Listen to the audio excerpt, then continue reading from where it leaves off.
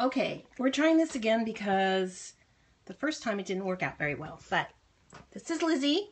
She's waving. she's a Camp Cocker dog. And she's up for adoption at campcocker.com. But to be honest, it's going to be very hard to let her go as her foster mama because she's perfect. She woke up this morning happy, had breakfast.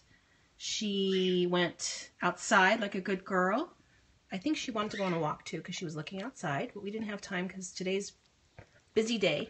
But anyway, we want to say hey to everybody. She's the most beautiful, perfect, loving dog ever, aren't you? Okay.